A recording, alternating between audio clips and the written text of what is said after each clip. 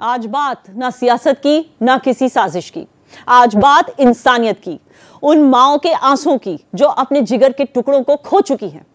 और आज सरकार और सिस्टम पे सवाल कर रही हैं कि आखिर कब तक कब तक हम हादसों के हो जाने के बाद एक्शन की दुहाई देंगे? कब तक मासूम लापरवाही पे कुर्बान होते रहेंगे? आज इसी सवाल पर हम अपने मेहमानों से चर्चा करेंगे, लेकिन पहले इस रिपोर्ट पर गौर फरमाइए।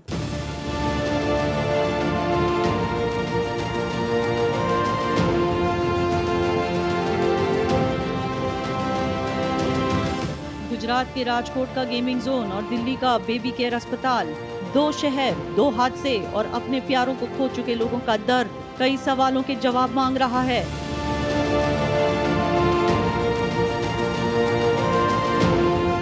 सबसे पहले बात करते हैं राजकोट में गेमिंग जोन में हुए हादसे की। गेमिंग जोन को अग्निशमन विभाग का एनओसी नहीं मिला था। गेमिंग जोन का स्ट्रक्चर फाइबर और धातु से बना हुआ था। बेस के तौर पर गैल्वनाइज शीट का इस्तेमाल किया गया था। एयर कंडीशनर के लिए तार फैले हुए थे। तारों को कवर या इंसुलेट नहीं किया गया था। आग बुझाने के लिए अग्निशमन उपकरण मौजूद नहीं थे। गेमिंग जोन में रखा था ज्वलनशील पदार्थ। अगर बात दिल्ली की करें तो तस्वीर अलग नहीं मिलती। अस्पताल का लाइसेंस 31 मार्च को ही एक्सपायर हो चुका था। अस्पताल को सिर्फ़ पाँच बेड की मंजूरी थी। लेकिन घटना के समय 12 नवजात बच्चे भर्ती थे। फायर डिपार्टमेंट से एक क्लियरेंस नहीं मिला था। अस्पताल में अग्निशामक उपकरण नहीं थे। सबसे हैरान करने वाली बात यह कि अस्पताल में इमरजेंसी एग्जिट ही नहीं थे। सूरत और दिल्ली में लापरवाही की इस लंबी लिस्ट से साफ़ है कि हादसा इतना भयावह क्यों था? नियम कायदों की खुलेआम धज्जिया उड़ाई गई। राजकोट की गेमिंग जोन के मालिक सहित सात अधिकारियों पर गाज गिर चुकी है। तो दिल्ली में बेबी केयर अस्पताल का मालिक भी सलाखों के पीछे है। लेकिन सवाल हादसे के बाद एक्शन का नहीं है। सवाल ये है कि हादसे से पहले नियमों के अनुसार कार्रवाई क्यों नहीं हुई? ये पहली बार नहीं है जब ऐसे हादसों में मासूमों ने अपनी जान गंवाई हो। लेकिन सवाल यह है कि क्या ये आखिरी होगा? क्या सरकार और प्रशासन की नींद इस बार किसी हादसे के होने से पहले टूटेगी? Bureau report, Bharat Express. और इस अफसोसनाक वाक़े पर हमारे साथ चर्चा करने के लिए पैनलिस्ट मौजूद हैं एस के ढेरी जी, पूर्व प्रमुख दिल्ली फायर सर्विस, माया सिंह जी, सामाजिक कार्यकर्ता और पवन शर्मा जी, प्रवक्ता आम आदमी पार्टी। माया सिंह जी राजकोट के पूर्व मेयर, कलेक्टर, म्यूनसिपल कमिश्नर, यहाँ तक के बीजेपी एमएलए रैयानी सबने राजकोट के गेमिंग जोन का दौरा किया था। फिर जब आग लगी 27 लोग जान से गए तो एफआईआर सिर्फ़ कुछ लो रैंक ऑफिसर्स पे। इन जूनियर लेवल ऑफिसर्स के हाथ में कोई पावर नहीं होता, मगर लापरवाही की सज़ा ये भुगते देखिए, ये जब जब इस तरह के हादसे कहीं भी होते हैं तो देखो, ठीकरा कहीं तो फूटना होता है या ना। और सबसे जो कमज़ोर कड़ी होती है उन चीज़ों में जो सबसे कमज़ोर आका जाता व्यक्ति होता है, उसी के ऊपर वो घास गिरती है। बड़े बड़े चेहरे हमेशा इन दायरों से निकल जाते हैं, इन अपराधों से बरी हो जाते हैं। लेकिन समस्या ये होती है कि हमारे देश में बहुत समय से हम लोग इस पर विचार करते आ रहे हैं। कुछ समय पहले एक ब्रिज टूटा था, जिस पे excess number of ticket release कर दी गए थे टूट गया था, लोग इतने लोग मर गए हादसे में। तो हम पिछले और भी बहुत सारे हादसों को अगर उठाएँ और सबक लें और उनको हम एनालिसिस करें तो हम ये देखेंगे कि सब ना सब ये जिस तरह के हादसे हैं, वो एक मानवीय भूल के साथ एक भ्रष्ट तंत्र की कहानी कहते हैं कि ये भ्रष्ट तंत्र से हमारा देश जो है जुगाड़ तंत्र पर चल रहा है और एक भ्रष्ट तंत्र की कहानी है, जिसको हम बोलते हैं जो उत्तर प्रदेश से बिलोंग करते हैं, वो समझ जाते हो कि जुगाड़ क्या होता है। हर चीज़ को किसी भी एक टेक्निक से, एक इनलीगल तरीके से चलाने को हम जुगाड़ कहते हैं। तो राजकोट भी एक इस तरह की भयावह स्थिति का एग्ज़ाम्पल था। आप ये देखिए कि वो दो साल से प्रशासन और शासन की नाक के नीचे इतना हाईटेक तरीके से चल रहा था। ऐसा ना हो कि लोगों को इसका संज्ञान ना हो। चलिए, वो भी चला, मान लिया। जब तक देखिए कहीं हाथ से नहीं होते, लोग नहीं लेते। लेकिन अगर वहाँ पे इतना सारा डीजल और पेट्रोल स्टोर हो रहा था और वहाँ पे अगर आप वेल्डिंग वर्क कर रहे हैं हॉट वर्क परमिट कर रहे हैं तो मतलब तो आप, कि आप हादसे होने का इंतज़ार ही कर रहे हैं। नहीं उनको उन्होंने करने की बात नहीं कि अगर हम वहाँ पे हॉट वर्क परमिट कर रहे हैं तो अगर हम हाईटेक तरीके से तो वहाँ पे बहुत सारी चीज़ों का काम करा जाता है कि पहले आप इस तरह की स्थिति को मान के चलिए कि ये भी हो सकता है और उस तरह की स्थिति से निपटने के लिए कार्रवाई करने के लिए चीज़ें तैयार रखी जाती है। बिल्कुल चीज़ें तैयार रखी जानी चाहिए पवन शर्मा जी। बहुत उम्दा। शाबाश! हमने पब्लिक हेल्थ में काम किया। मोहल्ला क्लिनिक बनाए। फलाना बिस्ताना, ये काम किया आम आदमी पार्टी सरकार ने। बहुत उम्दा, शाबाश। बेबी केयर अस्पताल का लाइसेंस एक्सपायर हो गया था, ये तो सेकेंडरी बात है। जब इमरजेंसी एग्जिट ही नहीं था तो पहली बात लाइसेंस मिला ही कैसे? याद देखिए, आपका धन्यवाद कि आपने इतने संवेदनशील मुद्दे पे डिबेट रखी। चाहे दिल्ली घटना हो, दिल्ली घटना पीड़ादायक तो है ही। राजकोट की घटना हो चाहे मोरबी की घटना हो चाहे गोरखपुर की घटना हो तमाम सारी घटनाएँ वो सारी पीड़ादायक थी। लेकिन आज इसको हम ये नहीं कह सकते कि किसी गलती नहीं थी। इसमें डिफरेंस ये है कि जब ये घटना आई तो दिल्ली सरकार ने मुख्यमंत्री अरविंद केजरीवाल जी ने हमारे स्वास्थ्य मंत्री सौरभ भारद्वाज जी ने इस घटना का संज्ञान लिया। इस हम्म। घटना की इंक्वायरी करवाई और इंक्वायरी होने के बाद ये तय किया कि जो भी दोषी होगा उसके खिलाफ कार्रवाई तो होगी ही होगी। लेकिन उसके साथ उपाय भी निकाले जाएँगे ताकि भविष्य में ऐसी घटना दोबारा ना हो सके क्योंकि ये ये लाइसेंस आपने जिस आपने दिखाया अभी कि पाँच बेड का लाइसेंस हॉस्पिटल के पास था और हम्म। स्वास्थ्य विभाग के द्वारा दो केस इस मालिक के ऊपर ही पहले ही कोर्ट में है जो कि दोषी साबित अभी तक नहीं हो पाए लेकिन केस हम्म। चल रहा है। हमारी मांग ये है कि जो जो अधिकारी या जो जो कर्मचारी चाहे कितना बड़ा आदमी हो चाहे हॉस्पिटल का मालिक हो कोई किसी की भी गलती हो उसको कड़ी से कड़ी सजा मिले ताकि भविष्य में इस तरह से कोई माँ बाप अपने बच्चों को खो ना पाए। इससे इंतज़ाम करने बहुत ज़रूरी है। कई सारे तथ्य हम्म। आपके सामने आने चाहिए जनता के सामने आने चाहिए कि जब पाँच बेड का अस्पताल था आपने तथ्य दिखाई भी कि इकतीस मार्च को इसका लाइसेंस खत्म हो गया था पाँच बेड का लाइसेंस था उसके बाद इन्होंने अप्लाई किया apply Pawan Sharma ji expired license लेके अनक्वालिफाइड डॉक्टर्स लेके विवेक विहार में अस्पताल चल रहा था। 2021 में पहले से एफआईआर थी इस अस्पताल पे। तब याद नहीं आया आपके हेल्थ मिनिस्टर सौरभ भरद्वाज को। कि मीटिंग बुलाई जाए सात नवजात बच्चों के मर जाने के बाद याद आया कि मीटिंग बुलानी जानी चाहिए। चलिए देखिए याना जी ये तो एक तरफा बात है। दिल्ली में तो दिल्ली सरकार ने एक्शन ले लिया लेकिन आपको याद होगा मोरबी में क्या हुआ? राजकोट में क्या हुआ? कुछ साल पहले की बात है राजकोट तक मत जाइए जहाँ आपकी सरकार है वहाँ की बात कीजिए। लग गई। ये याना जी मैं पूरी बात कर दूँ दोनों चीज़ों में डिफरेंस है।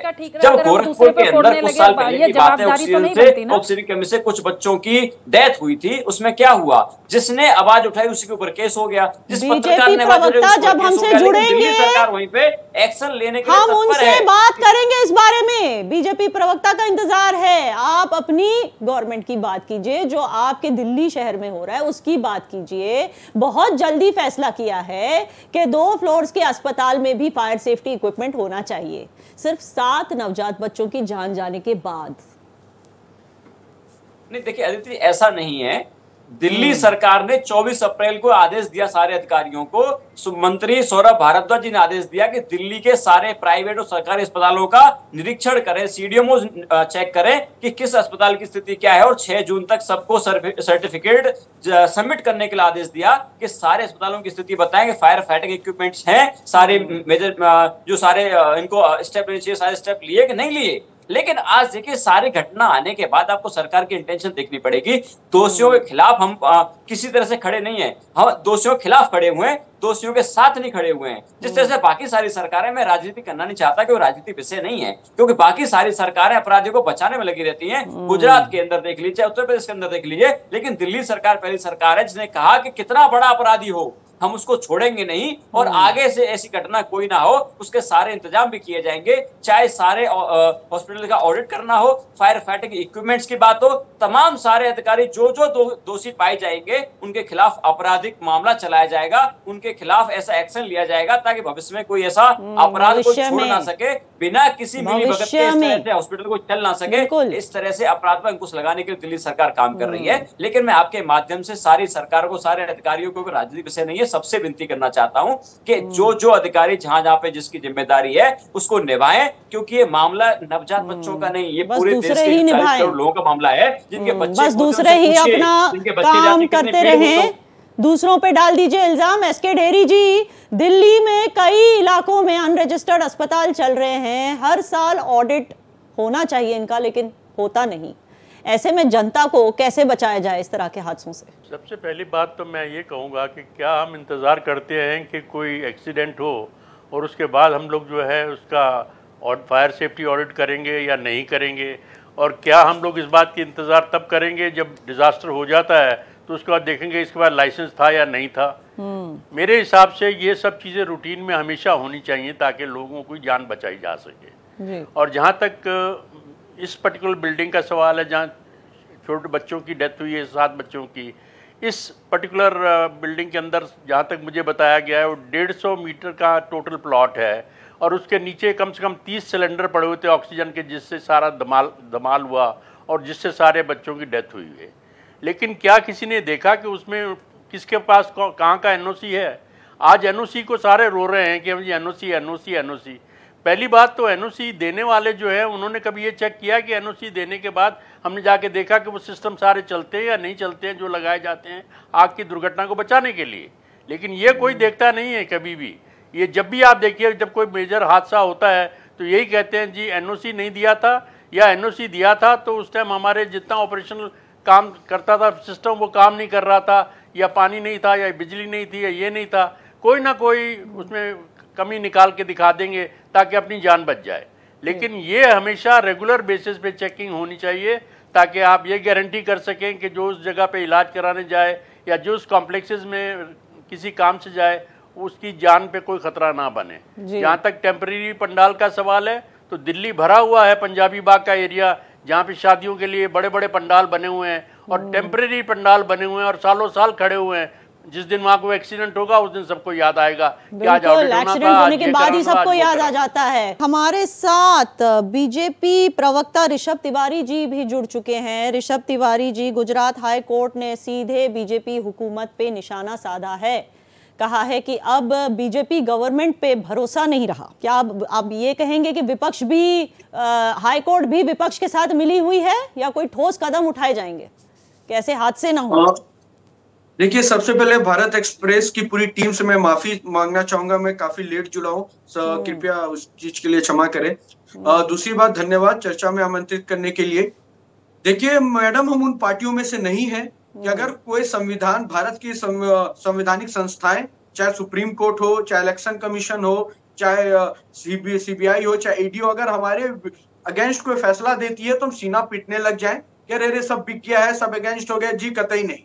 हम उनका सम्मान करते हैं। और चाहे मोरबी की घटना ही अगर हम गुजरात की याद कर ले तो जो कहा जा रहा था जो नैरेटिव सेट किया जा रहा था कि जो उसके मालिक हैं वो तो बीजेपी से जुड़े हुए हैं उस पर कोई कार्रवाई नहीं होगी उस सारे लोगों पे कार्रवाई हुई है और आगे भी कार्रवाई होगी। जो भी एससीएम बकायदा वहाँ विज़िट किए हैं सारा कुछ हो रहा है। लेकिन एक विषय ये भी है कि जहाँ हम राजकोट देख रहे हैं वहाँ हमें दिल्ली भी देखने की आवश्यकता है।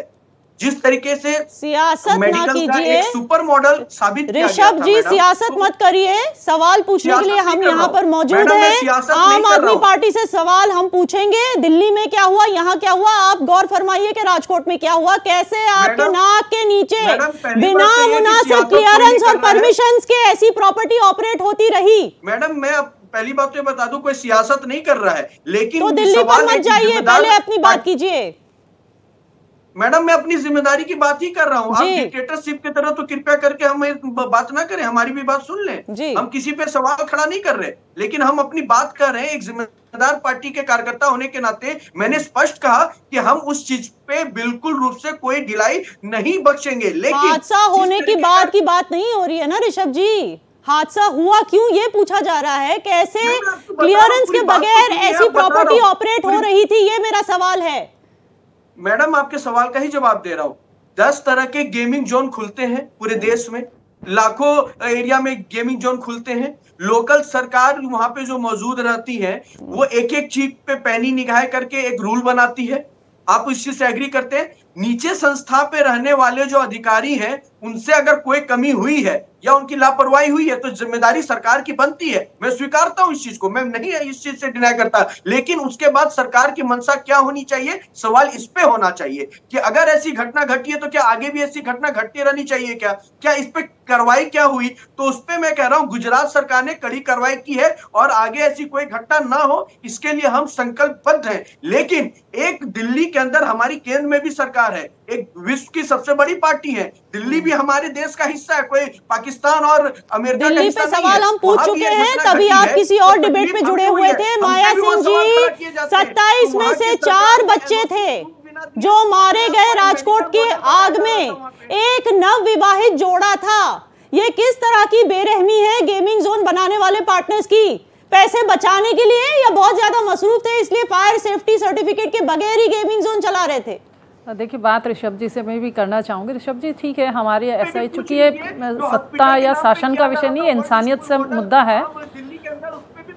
ऋषभ जी ऋषभ जी आप माया जी की बात तो सुन लीजिए। ऋषभ जी ये बात चूँकि एक, एक, एक बहुत संवेदनशील मुद्दा है ना तो ये दिल्ली का है ना गुजरात का ये इंसानियत के मुद्दे पर हम बात हो रही है और उस इंसानियत के लिए बात हो रही है कि ठीक है आज हम अफसोस भी ज़ाहिर कर लें लेकिन हम उन जितने परिवारों के जो सगे संबंधी बिछड़ गए उन्हें नहीं ला सकते। जैसे कि अभी ये बोला था कि गुजरात में एक लड़का कनाडा से आया और उसने अभी अठारह तारीख को ही कोर्ट मैरिज करी थी और अपनी वाइफ का वीज़ा अप्लाई करके वो वहाँ घूमने गया था अपनी नव विवाहित ज़िंदगी को जीने के लिए मज़ा लेने के लिए और उसके बाद वो जल गया। उसके पेरेंट्स आ रहे हैं कनाडा से। तो सोचिए, ऐसे लोगों को हम अफसोस ज़ाहिर करके, ऐसे परिवारों को, उनको हम क्या दे रहे हैं? कुछ नहीं दे रहे हैं। समस्या है कि अगर हम संवेदनशील होकर इन मुद्दों पर बात करें, हम दिल्ली ना करके, गुजरात ना करके मौरवी ना करके, हम इंसानियत पर बात करें तो अलग तरीके से बात होती है।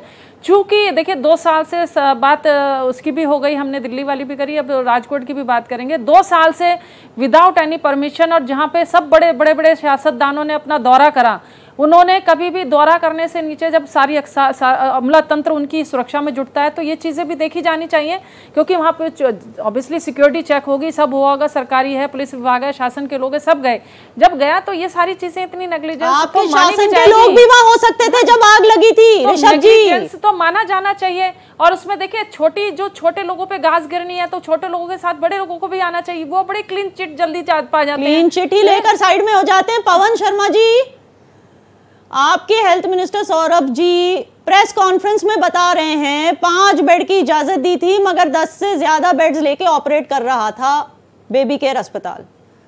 तो विवेक विहार में आम आदमी पार्टी के एमएलए रामनिवास गोयल बहुत गहरी नींद सो रहे होंगे शायद ना? सिर्फ़ जब बीजेपी कार्यकर्ताओं के घर में ज़बरदस्ती घुसना होता है तभी नींद से जागते हैं शायद। देखिए ना जी माया जी ने जो बात कही वो एकदम सत्य बात कही। हम चाहे कितना भी सांत्वना दे लें चाहे हम कितना भी उनको मुआवजा दे लें कुछ भी कर लें लेकिन। जिनके बच्चे खोए उनको वापस हम नहीं ला सकते ये बहुत बड़ी बात है ये किसी भी सरकार के लिए किसी इंसानियत के लिए बहुत बड़ी बात है लेकिन हम्म। आपको ये देखना पड़ेगा कि दिल्ली सरकार कर क्या रही है दिल्ली सरकार ने तुरंत इस पर एक्शन लिया दिल्ली सरकार अपने पीड़ितों के साथ खड़ी हुई है कि जो भी अधिकारी दोषी होगा उस पर कार्रवाई होगी चाहे मालिक कितना ही बड़ा हो उस पर कार्रवाई की जाएगी और ऐसी घटना दोबारा ना हो उसके लिए आदेश दिए गए कि हर सीडीएमओ अपने अपने एरिया में जाके चेकिंग करेंगे और 6 जून तक ये रिपोर्ट सबमिट करेंगे कि हम्म। इस तरह से कोई भी अस्पताल आगे नहीं मिलना चाहिए जो कि फायर सेफ्टी उसके अंदर ना हो या कोई भी लाइसेंस बिना लाइसेंस के अस्पताल चल रहा हो उस पर कड़ी से कड़ी कार्रवाई की जाएगी। लेकिन मैं आपसे ये कहना चाहता हूँ आपको यकीन दिलाना चाहता हूँ कि दिल्ली सरकार किसी भी अधिकारी को बचाएगी नहीं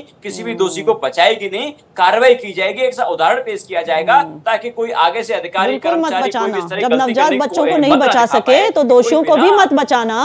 एस के ढेरी जी आम आदमी पार्टी को ऐसा लगा कि जो नर्सिंग होम्स फ़र्स्ट या सेकंड फ्लोर पे होते हैं उन्हें इमरजेंसी एग्जिट की ज़रूरत नहीं होती। किस बलबूते पे ये फैसला लिया गया? कितना मुनासिब है ये सोचना? और क्या फायर सेफ्टी डिपार्टमेंट से मशवरा किया गया था ये तय करने से पहले? जहाँ तक मुझे पता है इस पर्टिकुलर बिल्डिंग के लिए कोई एनओसी फायर की तरफ़ से नहीं लिया गया था। हम्म। क्योंकि इन्होंने सोचा था शायद छोटी सी बिल्डिंग है क्या ज़रूरत है इसके अंदर? इसलिए उसमें दो स्टेयर केसेस भी नहीं थी। और जो स्टेयर हम्म। केस थी वो एक ही थी उससे बड़ी मुश्किल हुई लोगों को नीचे उतारने की उसकी वृत्त भी इतनी चौड़ी नहीं थी कि कम से कम दो आदमी इकट्ठे निकल सके उसके अंदर से हम्म। तो ये सब चीज़ें जो हैं प्लानिंग के टाइम जब बिल्डिंग बनती है उसी समय देखनी चाहिए क्योंकि जहाँ आपने किसी भी बिल्डिंग की ऑक्यूपेंसी चेंज की तो उसी समय आपको ये पता होना चाहिए कि यहाँ पे किसी ना किसी न किसी दिन एक्सीडेंट होगा और कैजुअलिटी होगी लेकिन लोग हम्म। इस बात के लिए तैयार नहीं रहते आप छोटे छोटे घरों में देखते हैं आजकल आगे लग रही हैं और फ्लैट्स के अंदर कहीं दो मर रहे हैं कहीं चार मर रहे हैं। ये कोई तरीका थोड़ी है एक शहर के अंदर ज़िंदगी बिताने का। प्लानिंग इस तरीके से होनी चाहिए कि पहली बात तो आग ना लगे। दूसरी बात अगर लगे तो उस पर तुरंत काबू पाया जा सके। और तीसरी बात उसमें किसी आदमी की किसी इंसान की जान नहीं जानी चाहिए। जी। तब तो आपकी जिम्मेवारी को सही तरीके से माना जाएगा। अगर आप ये सब चीज़ें ना जाने बचा सकते हैं ना प्रॉपर्टी बचा सकते हैं तो फिर आपकी तो खाली उन्होंने नौकरी नौकरियाँ दे रखी हैं लोगों को यहाँ काम करने के लिए या पैसे कमाने के लिए। बिल्कुल। बाकी लोगों की जान बचाने के लिए कुछ नहीं किया हुआ नौकरी से याद है ऋषभ तिवारी जी बीजेपी सरकार ने हेल्थ सेक्रेटरी दीपक कुमार को पहले ही क्यों नहीं सस्पेंड किया था जब दिल्ली में मेडिसिन स्कैम्स सामने आया था? कुछ महीने पहले। आज इतना बड़ा हादसा हुआ और सेक्रेटरी साहब फ़ोन नहीं उठा रहे कोई ढंग का अवसर नहीं मिलता क्या इतनी ज़िम्मेदारी वाली पोस्ट के लिए? मैडम ये सवाल मुझसे है। जी आप ही से है। ये दो सेक्रेटरी मैडम होते हैं। हेल्थ विभाग में अगर आप दिल्ली सरकार के अंदर देखेंगे तो वो दिल्ली सरकार के अंतर्गत आते हैं और केंद्र सचिव की बात करेंगे तो भारत सरकार के अंतर्गत आता है। मैं आपको बताना चाह रहा हूँ कि भारत सरकार के अंदर जो बोले कैमरे के सामने। जब से सर्विसेज़ के अंदर आपने अधिकारी छीने हैं वो एलजी साहब के आते हैं एलजी साहब भारतीय जनता पार्टी के आप ये कम से कम फैक्ट के साथ में झूठ बोलिए आप। आप सच बोलिए। दीजिए सर मुझे। कृपया करके कंप्लीट करने दीजिए। कीजिए आप कंप्लीट जी जो विभागीय सचिव होते हैं उस पे उसके बाद जो एक बीच में मोमेंडम आया था जिसमें केंद्र सरकार भी उस पर मॉनिटरिंग करेगी। वो इसलिए था क्योंकि कई ऐसी चीज़ें आई थी जैसे मोहल्ला क्लिनिक को लेकर आई कि वहाँ पे कह रहे हैं दवाई नहीं है। और दवाई बाहर सड़ रही है गोदामों में सड़े पाए गए। तो बहुत सारी चीज़ों को देखते हुए ये बाकायदा गवर्नमेंट के तरफ़ से और संविधान के तहत कोई गैर संवैधानिक तरीके से नहीं चीज़ें लाई गई है। हम्म। जहाँ तक आपने बात कहा कि विभागीय में चेंज को लेकर। ऋषभ भाई आप? नई क्या प्रणाली भारतीय जनता पार्टी ज़िम्मेदारी लेगी उसकी अगर क्योंकि कंप्लेंट अधिकारी करना आपके है तो चलिए आप दोनों एक दूसरे पे आरोप प्रति आरोप करते रहना। यही चलता रहता है हमेशा। दिल्ली और राजकोट में हुए हादसों में इतना तो साफ़ है कि सुरक्षा नियमों की खुलेआम धज्जियाँ उड़ाई गई। इसीलिए मैं याना मीर डंके की चोट पर कहती हूँ कि समय आ गया है कि हम हादसों के होने का इंतज़ार ना करें। निर्दोष लोगों की जिंदगियों के साथ जानलेवा लापरवाही का खतरनाक खेल ऐसा नहीं चलेगा।